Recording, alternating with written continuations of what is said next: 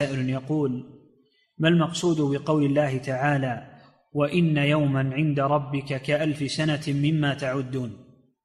هذا من أيام الآخرة. من أيام الآخرة. أيام الآخرة ليست كأيام الدنيا. اثنى عشر ساعة أو أكثر أو أقل. أيام طويلة. في يوم كان مقداره خمسين ألف سنة. Nah